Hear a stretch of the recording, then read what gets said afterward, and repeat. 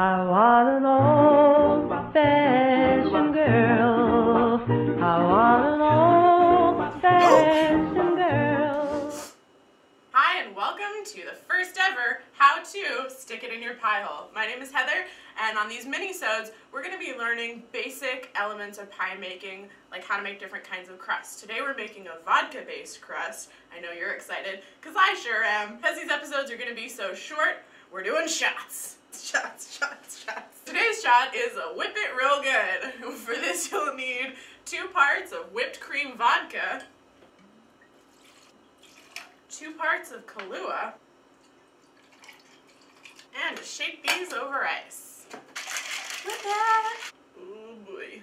And just top it off with a little whipped cream chaser. Here we have our whip it real good. Oh, I'm so scared to do this. You want me to do it with you? Yes. Okay. And cheers. Ooh, yeah. I forget what we're making. We're making shots, right? Yeah. That's what I was here for. Do you want one more? It's really good. Okay. Cheers. Cheers. Oh boy. That second one might have been a mistake. Alright, start by putting one and a half cups of flour into your bowl. It's best to sift it. Also add one teaspoon of salt and two tablespoons of sugar. Sift these together and just mix them up until they're evenly mixed. To this you want to add one and a half cups of butter cut into small-ish chunks. Really, really important that all of your chilled ingredients remain as cold as possible for as long as possible. So don't take your butter out of the fridge until it's ready to use. Okay, we're also gonna add a half cup of vegetable shortening. Again, this should be chilled and cut into chunks. Now beat these ingredients together until you have a dough that looks like cottage cheese. Okay, so once your flour mixture and fats are incorporated, incorp- incorporated, second shot was a terrible mistake. Once they're all incorporated into this crumb mixture, add one more cup of flour and beat it again until all the flour is mixed in. Once you have that all together, you want to add one quarter cup of freezing vodka. No, no, this is a terrible idea.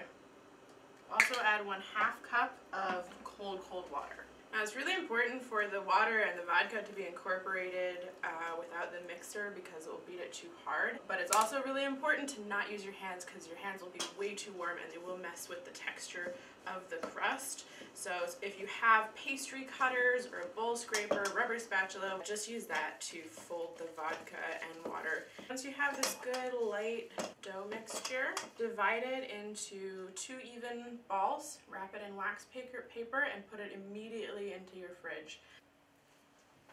Really don't want to handle the dough too much because it will ruin the consistency and texture when it bakes.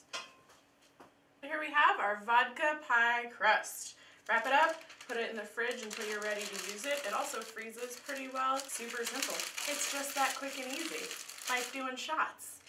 Speaking of which, thanks for watching our first ever how to stick it in your pie hole. You'll be seeing me again and this bad boy in our next episode when I'll be making grapefruit meringue pie.